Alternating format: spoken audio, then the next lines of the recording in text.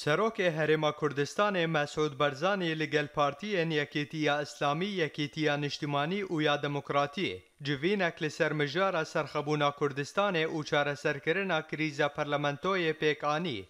د جوینا پرلمنتر او سروکاتی هرم ده برپرس او جیگرین حکومت تاوی سروک هرم آماده بون لگوری آگاهی ان کجوی جوین هاتن اشکره کرن ده دسته یک بوچاره سرکرنا کریزا حکومت او پرلمنتوی هرمه هەروسا پێکانینا ڕەفەرەندۆمێ لەسەر سەرخەبوونا کوردستانی دەهەیامە هەفتەیەکێ دە دێوەرە ئاواکردنە دێ هەمان دەمێدە هینژێدەران دجیڤینا پەرلەمەنتۆیە دەڕاگهاندنە کو دجیڤینێدا بەرخۆدانا پێشمەرگەیان لە دژی ڕێخستنادا شێیا تەرۆریست جی هاتە ببیرانینە و بانگ لە هەمی ئالیەن سیاسیەن کوردستانێ هاتەکردنە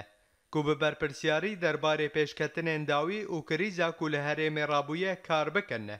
هەفدەم هەمی ئالیەن دجیینێ دە پشتگریە خۆجی ji بۆ ئۆپەرسیۆنا ڕەفەرەندۆمێ لەسەر سەرخەبوونا کوردستانê nîşankirin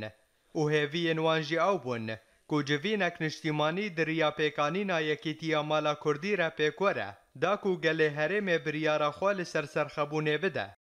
Ji aliyekî din ve kesên beşdarî civîna Parlamentoya Kurdistanê dilnerehetiya xwe jî li ser mijara penaberetiyê ya gelê herêma Kurdistanê nîşankirin. û tekeskirin ku dê krîza herêmê bi dawî bibe û dê ew ê piştgiriya xwestekên gelê herêmê jî bikin da ku ev diyarde dûmahî bibe.